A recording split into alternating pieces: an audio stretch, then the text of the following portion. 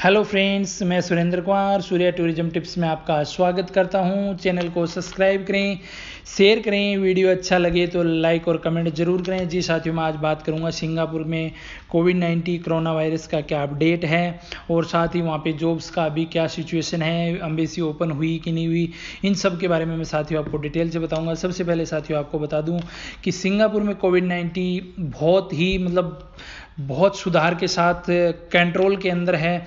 साथ ही सिंगापुर में अब तक टोटल 39,000 केस मिले हैं जिसके अंदर 27,000 रिकवर होके घर पे उनको डिस्चार्ज कर दिया गया है और 12,000 केस हैं। जो मतलब अभी एक्टिव हैं तो वो बहुत मतलब आने वाले 10 दिन के अंदर वहाँ पे ऑलमोस्ट बहुत कम केस जो एक्टिव होंगे, वो बचेंगे। और रही बात साथियों, वहाँ पे अब तक जो डेथ रेशियो है साथियों, वो बहुत कम है। सिंगापुर में अभी तक टोटल 25 डेथ हुई है मतलब 25 लोगों की मौत हुई है। और जिसके अंदर भी मतलब 20 लोग ऐसे थे, जो पहले किसी ना किसी बीमारी से ग्रस्तित थे, और जो बुज़ुर्ग थे, उन्हीं की डेथ हुई है साथियों।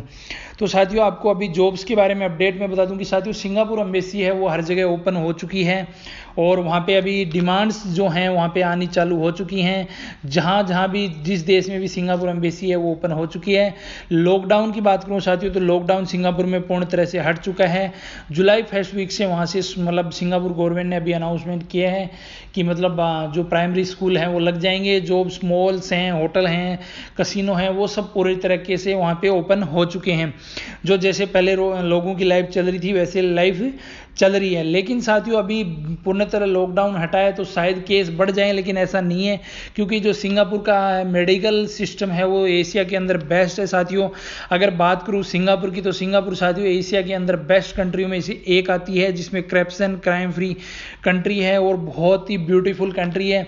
लेकिन बात रही जो भाई लोग घूमने के पर्पज से जा रहे थे, उनके लिए अभी थोड़ा सा उनको और इंतज़ार करना होगा, क्योंकि टूरिज़्म जो टूरिस्ट वीज़ा है, वो अभी सिंगापुर अम्बेसी अभी चालू नहीं करेगी, थोड़ा जुलाई के बाद चालू करेगी, लेकिन जो वर्क परमिट है एस पास हैं ई पास हैं स्टूडेंट वीज़ा हैं, जिनका रिन्यूअल होना है, वो सब चालू हो गया है, किसी का वीज़ा एक्सपायर हुआ हुआ था, और उनको रिन्यू करवाना था, वो चालू इमिग्रेशन आई है, जो सिंगापुर की इमिग्रेशन चेक अथॉरिटी है, वो ओपन हो चुकी है, जो एमओएम है मैन पावर ऑफ़ मिनिस्ट्री वो भी चालू हो चुका है तो study visa work permit S pass E pass के लिए मतलब डिमांड्स चालू हो गई हैं और वो सब ओपन हो गए हैं।